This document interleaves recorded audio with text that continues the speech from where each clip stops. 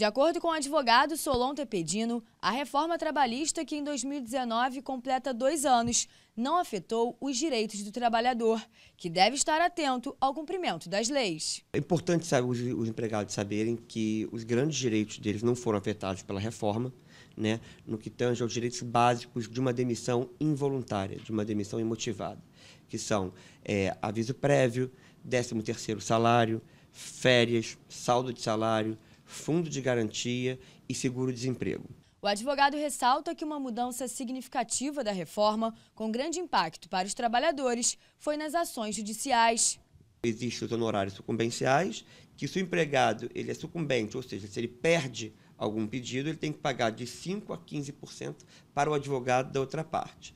E isso faz com que eles temam em buscar seus direitos, mas eu acho muito importante que eles resistam a tudo isso, procurem um advogado, porque eles, eles não podem temer isso, eles têm que buscar o advogado para que possa buscar os direitos dele. De acordo com o especialista, é importante que o trabalhador preste atenção no contra-cheque e fique atento aos descontos mensais. Os contra-cheques geralmente vêm rúbricas que eles não sabem do que estão sendo feitas.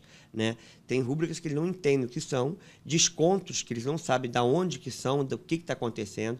Então é importante os empregados sempre guardarem os contra-cheques para mostrarem para um profissional, para que possam demonstrar se tem algum equívoco ou não nesses, mensalmente desses contra-cheques, podendo haver uma, uma, um processo para pedir a devolução de alguns descontos que eles não sabem nem do que estão sendo descontados. Para Solon, é fundamental que o trabalhador lute por seus direitos. Coragem, tá?